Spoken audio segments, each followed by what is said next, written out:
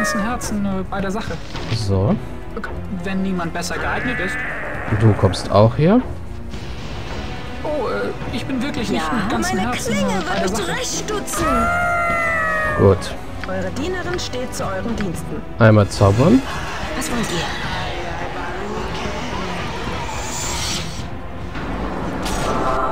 Beinahe unter meiner Würde. So, ein RP-technischer Bug. Wie seid ihr hier reingekommen? So. Äh, gut. Ja? Ihr beide bitte nach da. Wir, wir Ja, noch mal Nils und Jahira stehen sich hier in den Weg. Was? Und ihr beide Angriff auf den da. Mich kümmert's nicht, denn ich Du Angriff auf Schon den da. Und du wirf magisches Geschoss auf den da. Oh. So kann das auch passieren.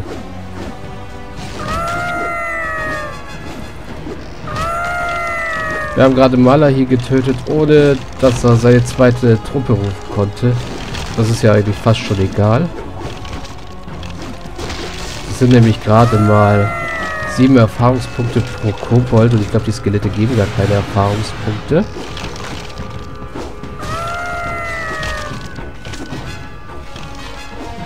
Also ist das jetzt halb so Ja, wild. gut. Euer Leben liegt in meiner Hand. Wohin ich schlagen soll, okay? So, genau, das Skelett gibt gar keine Erfahrung. Wahrscheinlich, weil es ein beschworenes Skelett ist. Aber du, da gibt's noch Erfahrung.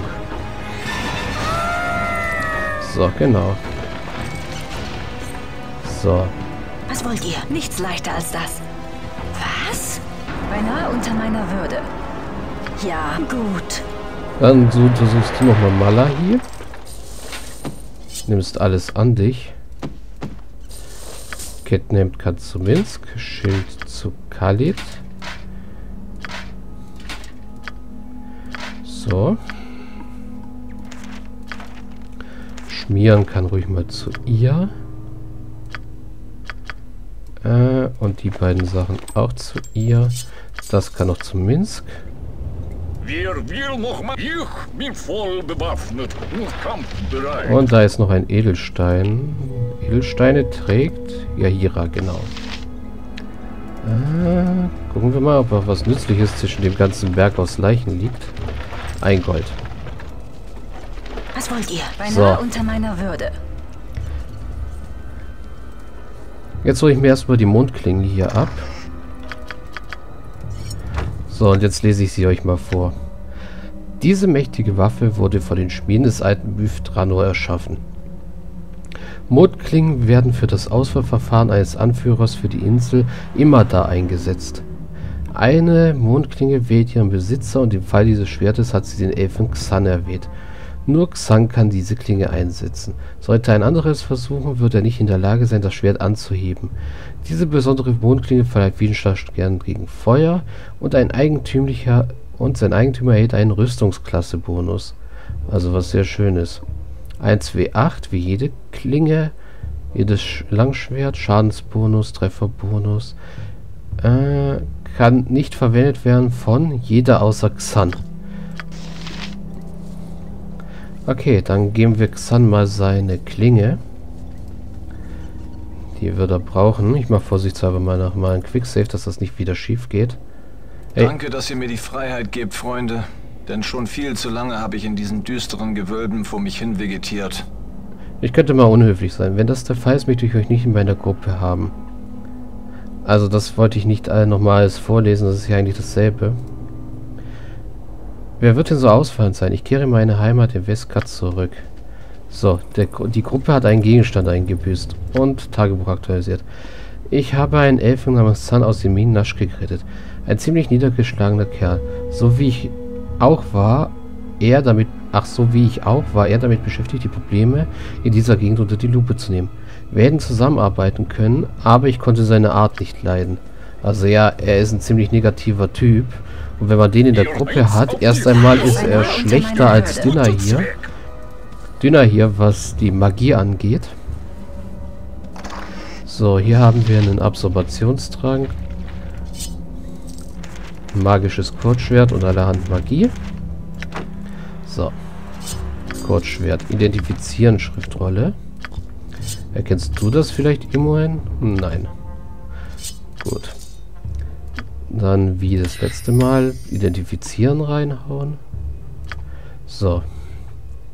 Jetzt identifizierst du erstmal den Ring mit der Spruchrolle. Der geht dann wieder an Shahira. So, die kriegt dann einmal Furcht bannen. Und du? Das kannst du nicht identifizieren, das ist schade. Kriegst noch die ganzen Spruchrollen, die ich hier habe und versuchst mal was davon zu übertragen. Schild kannst du nicht, weil Schild Beschwörung ist. Das liegt gegenüber deiner Sch Zauberschule. Genauso Herbeirufung, Beschwörung, das kannst du nicht. Verzauberung, Bezauberung kannst du auch nicht. Genau. Das ist Erkenntnis. Gut. Und das ist Hervorrufung. Das hat nicht geklappt. Also Herbeirufung und Beschwörung sind was anderes als Hervorrufung. Gut. Dann können wir jetzt noch die Truhe fertig plündern.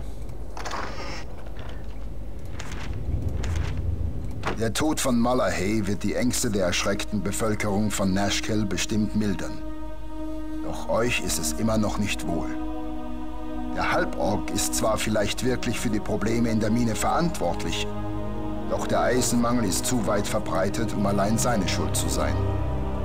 Seine Briefe bestätigen euren Verdacht und obwohl sie kaum Hinweise auf das Versteck seiner Verbündeten enthalten, darf mit Sicherheit eine Verbindung zu den Räubern angenommen werden, die zurzeit die Küstenstraße unsicher machen. Ja, wir haben das dritte Kapitel erreicht. Sehr gut. Mal sehen, was für Briefe haben wir gefunden. Mein Diener Malahi. Die Kobolde und das mineralische Gift, das ihr angefordert habt, sind bereits auf dem Weg zu euch. Eure Aufgabe besteht darin, jegliches Erz, das die Mine verlässt, zu vergiften. Ihr dürft auf keinen Fall eure Anwesenheit bei den Minenarbeitern preisgeben, sonst werdet ihr von den Soldaten der dortigen amnischen Garnison belagert. Meine Vorgesetzten haben vor kurzem die Dienste der Söldner der Schwarzen Krallen und der Kalten Hand angeheuert. Also zwei Räuberbanden. Mit der Unterstützung dieser Soldaten sollte es mir möglich sein, Eisenkarawanen, die aus ähm, Richtung Süden und Osten in die Region eindringen, zu überwältigen. Ich habe keine Lust, mich mit Eisen aus den Minen von Naschke herumzuärgern, also erledigt eure Aufgabe erfolgreich. Tatzok. Malahi hat ja gedacht, wir wurden von Tatzok geschickt und dass wir ihn ein deswegen einen Kopf kürzer machen wollen. Aber wir sind ja nicht von Tatzok. So, was macht dieser Trank? Äh, ne, ich wollte diesen Trank hier angucken. Achso, das ist der Absorbationstrank. Gott, der kann auch mal da rein, dann spart das Platz. Der schützt vor Elektrizität und vor ähm, Stichwaffen. Schmetterwaffen. Also gegen einen Oger gar nicht mal so schlecht. Und der zweite Brief? Mein Diener Malahi. Euer Fortschritt im Aufhalten der Eisenlieferungen lässt zu wünschen übrig. Wie dumm müsst ihr sein, wenn ihr eure Kobolden erlaubt, die Minenarbeiter zu töten. Da eure Anwesenheit nun aufgedeckt ist, solltet ihr euch vor Feinden in Acht nehmen, die den Auftrag haben, euer Tun, euer, euer Tun ein Ende zu setzen.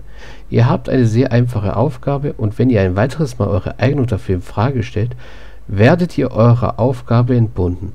Ich werde euch die Kobolde, die ihr angefordert habt, nicht senden, da ich alle meine Truppen dazu benötige, die Eisenlieferungen in, dieses, in diese Region aufzuhalten.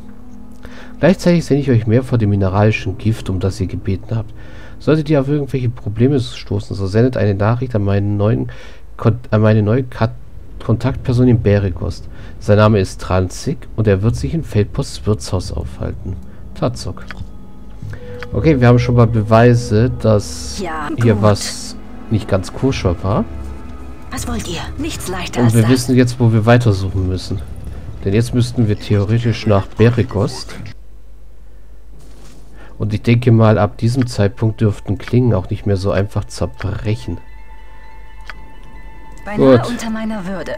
Dann würde ich mal sagen, nehmen wir den schnellen Weg hier raus.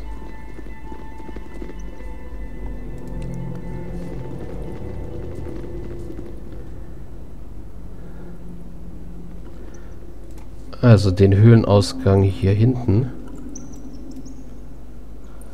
Damit wir nicht nochmal durch die ganze Mine stapfen müssen. Dann suchen wir den Weg nach Naschke zurück.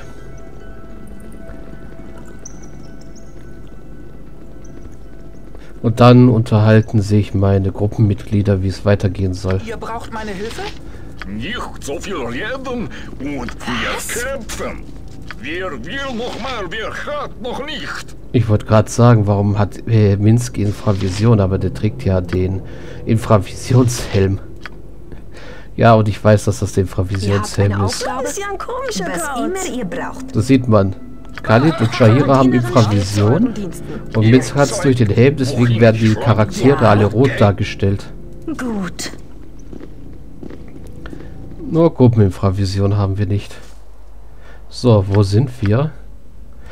Zeig mal kurz die Karte. Ja, wir sind irgendwo in der Pampa, weit weg von Naschkel. Gut. Das heißt, wir sollten uns jetzt direkt auf den Weg nach Naschkel machen. Wir sind nämlich in der Wüstengegend und man sieht hier wirklich das Kobolde hier in der Gegend. Oh, hallo Gnoll. Ein einziger Gnoll? Das war nicht jetzt nicht viel des Übels.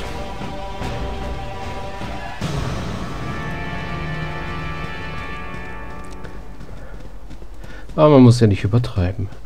Wir verschwinden von hier. Auf dem Weg sehen wir einen Turm nach Naschkel. Dieser Turm sieht aber mehr als nur wenig unein wenig einladend aus. Der sieht sogar ausladend aus. Und wir sehen sogar eine alte Brücke in, der, in dieser Gegend, die ziemlich kaputt aussieht. Imoen erinnert sich gerade dran, dass das zwei ähm, Ruinen sind, über die sie in Kerzenburg gelesen hat. 40 Stunden nach Kerzenburg, fast zwei Tage. Uh. Gelesen hat. Und dass wir diese Ruinen mit unseren aktuellen Erfahrung und Ausrüstung tunlichst meiden sollten. Vor allem den Turm. Mehr kann sie uns dazu auch nicht sagen.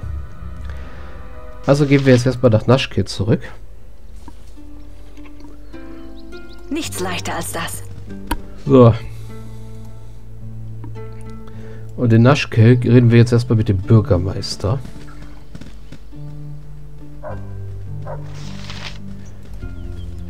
Beziehungsweise wir gucken mal, ob die Häuser jetzt offen sind. Wir haben nämlich immer noch einen Grünsteinring, der einem Bergarbeiter gehörte und der wahrscheinlich verheiratet war. Also es war wahrscheinlich sein Ehering, würde ich mal tippen. Und der eine Frau hat, die hier wohnt. Hm. Die Häuser scheinen aber immer noch alle verschlossen zu sein. Wahrscheinlich muss der Bürgermeister erst Entwarnung geben.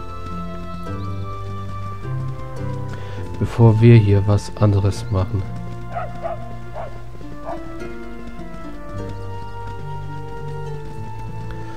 Es sind immer noch eine ganze Menge amnischer Soldaten hier unterwegs.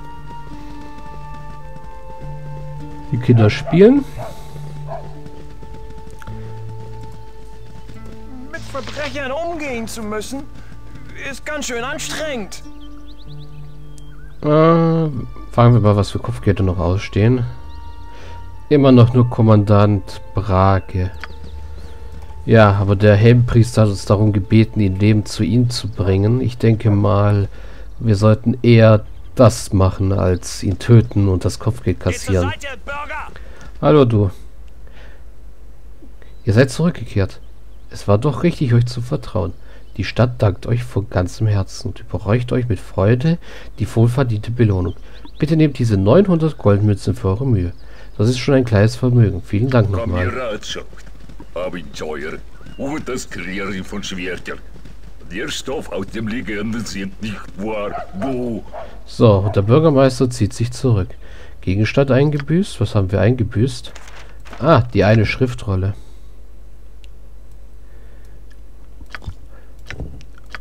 Und ähm, andere Sachen. So, ich denke mal, das behalte ich, weil das Questgegenstände sind. Das Ding kann auch verkauft werden. Oh, du kannst neue Pfeile bekommen. So. Und du bräuchtest demnächst mal neue Schleuderkugeln.